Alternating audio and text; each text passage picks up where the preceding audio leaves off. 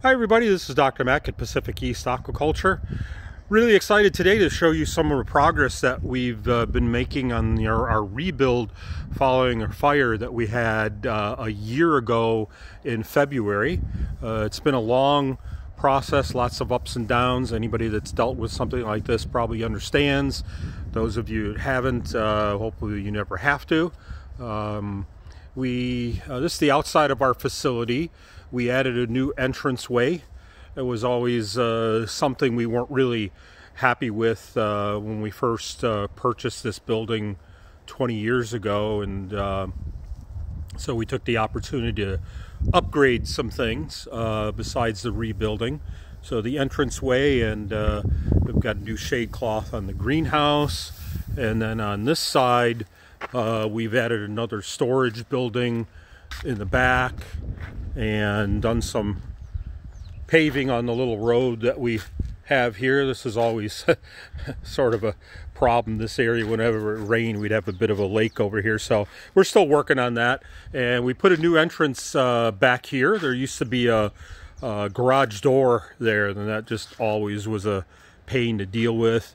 Uh, for local customers, we have an area here where uh, they can come and get refills on fresh water and RODI water and salt water and that's all on the outside so people don't have to bring buckets inside and all that in little area where folks can order things online and come and pick up since we aren't uh, open and we don't plan to be open uh, every day even when we do open back up. So this is a new entrance way here. Uh, really great for us because like I said, it used to be a garage door here and that was always difficult to deal with so now we have a legit doorway there. Um, so the fire started uh, right in this area. Uh, had nothing at all to do with our tanks. You would think here a facility with all these tanks and water and electronics and everything uh, that would be the source of the problem but no it was a light fixture here and uh, took out all of this area, which was our office area and packing area. So now it's completely different. Um, uh, this area is where we're going to be growing uh, copepods, rotifers, uh, phytoplankton. We had started doing that uh, and was really taking off, uh, becoming very popular for us in sales. And when the fire came, it really got uh, contaminated, and I just decided at that point we were going to pull the plug and just start over. So we have this nice shiny new area. Uh, all the walls are covered in this FRP and uh, we have lots of light. Here we have these uh, powerful LED strips here which is going to be more than enough light for growing our phytoplankton and we have all these new containers so actually this week getting this up and going. We work in conjunction with the local uh, university here and we get some of our starter cultures from them. Uh, so that's this area. We're really happy with this. Uh, new flooring, we have this rubber mats in the work areas. Uh, this area hasn't changed too much. This is our uh, uh, acclimation. new shipments come in and we do our acclimation here. Uh, again, the floors and the FRP on the walls. Uh, this is the back of the display tanks, our salt water mixing area, and then our our fresh water. Uh, we have uh, well water, so we go through all sorts of steps to get uh, purified fresh water, and that's our storage area for that. Well, this is going to be a little desk area with a computer uh, for us to work on in our in our pod area. And this is our new uh, showroom that used to be our office area. And this is completely redone. So we have an area here with frozen food. And this is going to be an area, we're still working on this a little bit, where we're going to have what we call our pod pub. So we're going to have an area where you can uh, fill up containers and reuse containers for um, getting phytoplankton and copepods and rotifers and all that. Uh, we've also taken the opportunity to put up a lot of photos of different adventures I've taken. For example, setting up a coral farm in the Solomon Islands and um, a little bit about my adventures in Tahiti, setting up a clam farm there. We also have these uh, fluval tanks that we're going to be offering to customers as a package deal. Well, you wouldn't take this actual one, but you would. We have others, and um, you'd say, "Hey, I really like that one," so we would send folks home with the tank and the rock and the sand and the corals and the fish and everything, and a bucket of salt water and some fresh water, and uh, you know instructions on how to set it up. So it's a great way for folks to get into the hobby or maybe add another small tank. Uh, this is our uh, uh, cafeteria, let's say, our little uh, a little nook here that has uh, a sink and a microwave and fridge and coffee maker and that. So um, this is our soft coral display tank and this is completely redone from what we had. A little difficult to see uh, with all the blue lighting on there right now, but that's loaded with hundreds of leather corals, zoanthids, mushrooms, gorgonians, all soft corals in that one. Um, here's Ruby. Ruby's our retired uh, breeding uh, boxer. Uh, all the photos in here are photos that uh, I had taken on some of my different adventures. And uh, there's some interesting ones. There's uh, our packing area. There's an interesting shot of some of the sharks in Tahiti. So this is our main um, livestock area.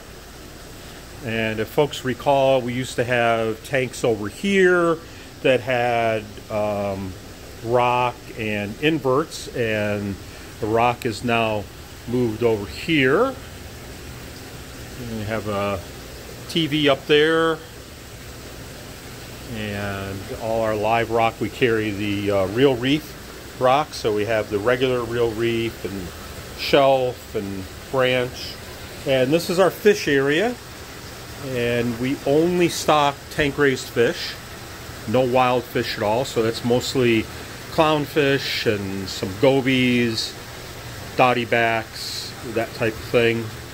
Uh, again, some more of the artwork on the walls. And then I've added these tanks for anemones. So we have one that has uh, rock anemones and another one with the uh, mini carpet, the Maxi Mini carpet anemones. And more of the fish. And as they say, we, we have no wild collected fish whatsoever and don't plan to. So, um, you know, disease issues to deal with. Uh, all the fish are happy and healthy and I need to update our website with all the new fish that I have. Um, this is uh, an area that where we do some of our uh, fragging work. And another area here with our saw and all the various frag plugs that we use. Uh, this is our main sump room nothing has really changed too much in here, so this probably needs a little updating maybe on uh, a few things, and I've done some of that, but this was not really affected at all by the fire. Um, that's the main sump room that our systems drain into, and we have our filtration. So this is our inside coral system. Um, this tank has mushrooms and zoanthids, and I have a tank here that has all um, types of euphyllias, and you know, we have several areas where we have all the stock, which is on our website. This tank has uh, a variety of things, including blastomussa frags and colonies that are growing out, various colonies, lobophyllias, cynarinas, pectinias, chalices. Here's all the cynarinas that we have. Uh, more blastomussa colonies. This is the 600 gallon display tank. So for those of you that have been to our facility, uh, you may know a little bit about the history of this tank. So this was a custom tank that a customer of ours um, built for themselves, had built for themselves, and never set it up. And I guess they were moving and said, hey, we need to get rid of this tank. Are you guys interested in it? They said, yeah, sure. You know, just well, okay, we'll just come and pick it up and uh, it's yours. So we got it and brought it here to our facility and at the time really didn't have any uh, interest in setting it up. So it sat outside for probably a couple of years and was uh, basically a breeding ground for mosquitoes out there. So eventually, um, one day when we had a, a, local reef club come in, a bunch of strong guys were here. It took about eight or ten people to move this tank, and we moved it in the facility. And if you've been at our facility, you know that for a couple of years it sat with uh, either empty or with some rock in it, some dry rock in it, and I never really got around to setting it up. Well, finally, now with the fire, um, we decided to move it to the current location, and I've actually tied it in with this uh, coral system, and I've gotten it set up, and it's been set up for probably oh six or eight months or so, and this is our LPS display tank. So a wide variety of euphyllias, blastomussa, pectinias, uh, you name it, everything that would be considered a larger polyp stony coral as well as uh, home to 20 yellow tangs which were tank raised and have grown up quite nicely uh, and this was really uh, populated prior to the shutdown of the exports from Hawaii of yellow tang, so I guess these guys are quite a bit more valuable now than what they originally were. We have some tank raised damsels in there as well. So this tank uh, looks really nice. Uh, this is definitely one of the highlights of the facility. And there's some more of our inside tanks, more of the photos that will be hanging on the walls. Again, all these are photos that I've taken in some of my various trips. So this tank has um, some inverts in it. This has sand in it. And I keep various things like emerald crabs in the baskets, um, feather dusters. There's some sea squirts there. Uh, there are starfish and different types of shrimp that live in that tank. Is another tank with some of the items which are on our website. There's a bunch of Blastomussa. And then we have uh, our greenhouse, which uh, hasn't really changed uh, because of the fire. All our livestock were um, kept going, basically. Luckily, uh, our electrical power was not affected from the fire, so we had no issues as far as our livestock. And we've been operating since uh, a year ago, February uh, still shipping out orders and been actually uh, quite busy because of the the pandemic situation. Lots of folks have been home, and uh, business has been really uh, bustling. So um, I was in here every day between trying to clean up and rebuild from the fire and keeping the business going. And through most of the last uh, year, that was without uh, any air conditioning and heating and that type of thing and it was really uh, kind of grubby with all the soot and everything so it was definitely a challenge but uh, we've gotten over that so this tank was one of our other display tanks the 215 gallon tank just like that soft coral tank but this one is all SPS coral so um, it's all acropora and montiporas and things are just growing like crazy in here. So this is in the greenhouse, but we do have LEDs on this. This is under overhang out here in the greenhouse. And this is just one of the tanks out here that I have all of our parent colonies of things that are growing out that I per periodically take frags from. And this is everything from different chalices. Uh, for example, this is the one uh, we call the um, class clown chalice. Um, we have quite a few of those growing out in here. Um, lots of different chalices, cyphastreas, stylocinias, um, different favias, Favites, um, zoanthids.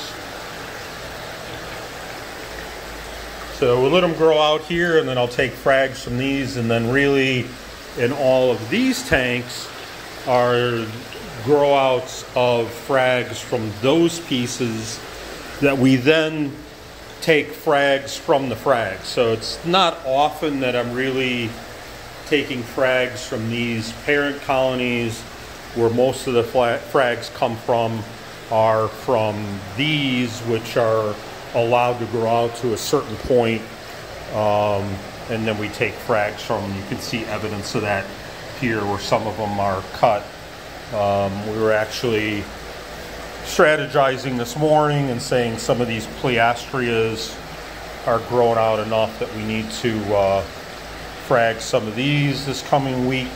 So each week we'll go through, see what the status of things are, and then decide, you know, what needs to be cut. Um, you can see some of these chalices have gotten pretty, uh, pretty insanely uh, large. So uh, we need to frag some of those. This is also where I keep um, our clams out here. I also supplement with uh, metal halide and some LED out here as well as just the natural sunlight. Uh, it's shaded.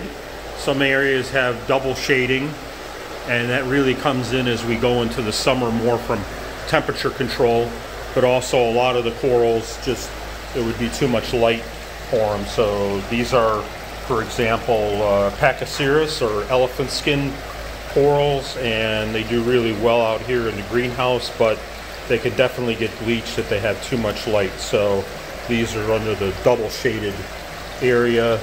Um, these are some of the um, different favias, uh, dragon soul, and prism favias, and things like that. So you could see a lot of these are definitely ready to be cut again. And again, as I mentioned, this is where I keep the clams. So the cultured clams will be in this area. We have very few at the moment. We're waiting for our next shipment from the farm and also some different SPS corals over here. These are various uh, colors of Pocilloporas, Stylophoras, bird's nest, all that type of thing. So I have an area with those. There's more Pocilloporas, Montiporas, um, some leather corals. So I've got leather coral parent colonies out here. We grow a lot of different leather corals. Uh, there's an area with Xenia, um, these are all different colors of zoanthids. They're allowed to grow out. Uh, then we have various stages of star polyps. Star polyps, yes, star polyps. There really isn't a day that goes by that we don't ship out um, several pieces of star polyps. Probably star polyps and xenia are probably the two most popular corals that we ship, even though we have every other type of high-end coral, so-called high-end coral, those are still um, the most popular coral. So you can see here some of the early stage ones. These are some that we cut this last week that are just uh, opening back up. These are some in uh, second and third stages where these are starting to grow out a bit and then our final ones that we actually wind up shipping out as frags. And these are bright green star polyps. But there's lots of other corals. Next to them are uh, scrolling cyphast, uh, excuse me, uh, scrolling turbinaria. It's another popular coral. We have several different color versions, green polyp, yellow polyp, and different, these are the yellow polyp ones here, and those other ones with the green polyp. So this tank has lots of cyphastreas and morphavias and also uh, some of the crazy mushrooms, different bounce mushrooms, uh, Superman mushrooms, uh, also a little bit more uh, blastomussa grow out out here. Uh, this tank has uh, all montipores, various colored plating montipores and encrusting montipores. And you'll also notice uh, I have baskets with different macroalgae, uh, dragon's breath, chaeto, um, other various macroalgae growing out here. Uh, so generally this area is where the wild collected clams, so those are like the teardrops and some of the others. Again, just a few of them left right at the moment, but normally this whole area is filled with uh, clams and we'll have some more coming in in the next couple of weeks. Uh, this tank has mostly gorgonians, the tank raised gorgonians. Uh, we carry uh, four or five different varieties uh, always. So these are the uh, purple willows and we have purple knobbies, orange, uh, corky fingers, uh, purple ribbons, and golden willows as well. And we have some other gorg pieces. This tank is a little bit deeper than the others. These are uh, 8 inches deep, and this one is 18 inches deep. So we put some uh, corals such as Galaxea uh, that get quite large, and some of the chalices that grow uh, crazy large and some of the leather corals that get quite large.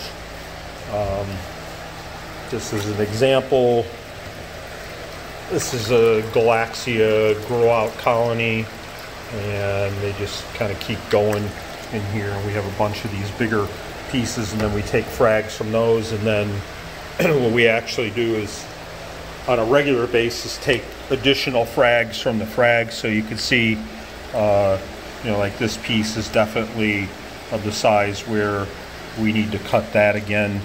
And it's also one of our more popular corals. So um, the so-called bread and butter corals, uh, Galaxeas, some of the plating montiporas, xenias, and mushrooms, and star polyps, and zoanthids, uh, um, what are generally considered beginner corals actually are some of the most popular corals. I say, we grow every type of coral and we also sell a lot of those, but on an everyday basis, we really sell a lot of those basic corals. We also have several type of sponge that we grow. This is the photosynthetic uh, purple sponge, and this can be handled out of the water unlike other sponges and it's photosynthetic.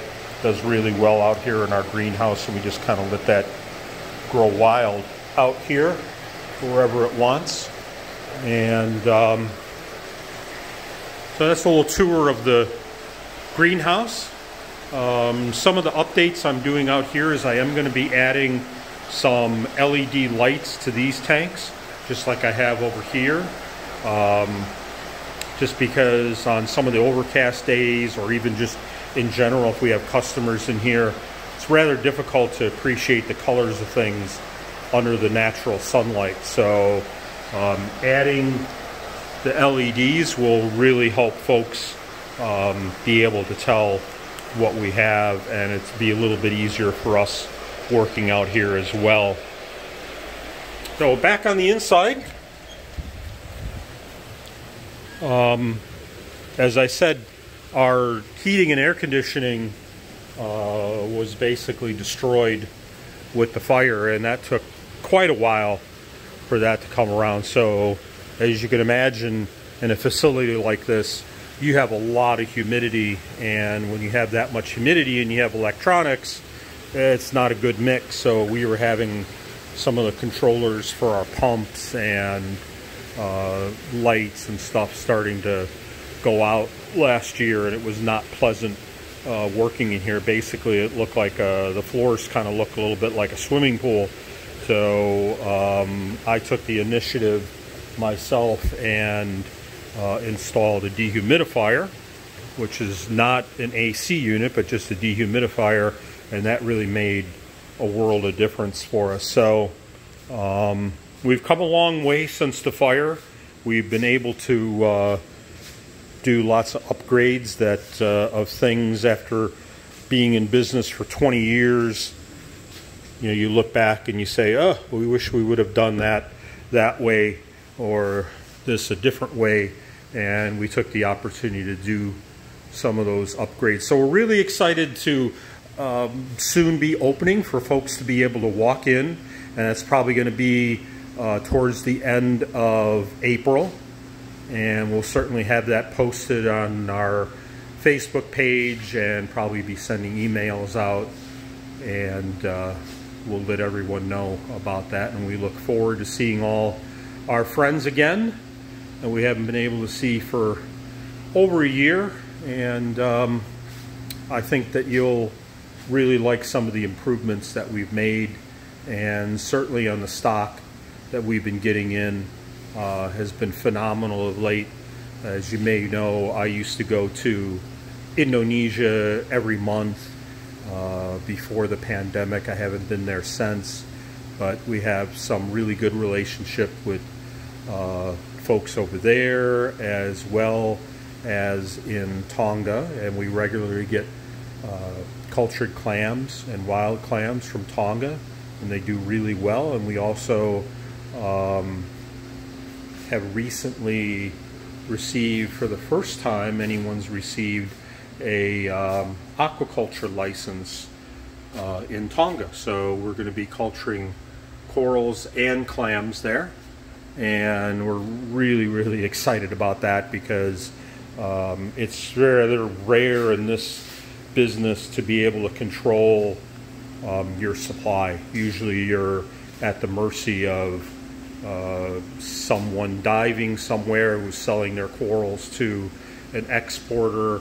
And so you're by the time you're receiving the animals you know it might be in someone else's hands uh, two or three times before you receive it. But with having our own farm uh, we'll have complete control over that. And we have quite a bit of experience in setting these things up. This again is in the Solomon Islands and this is probably about uh, 15 or so years ago now uh, that I went there and helped set that up.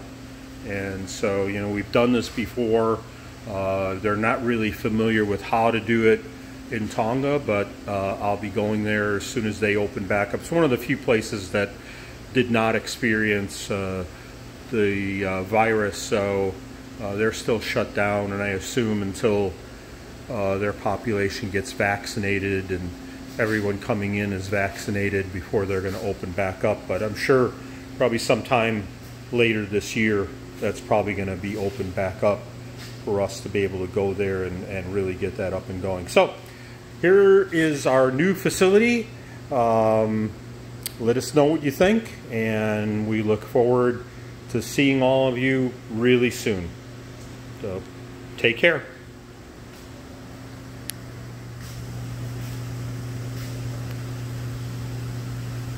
Ruby's excited. Can't you tell? Take care.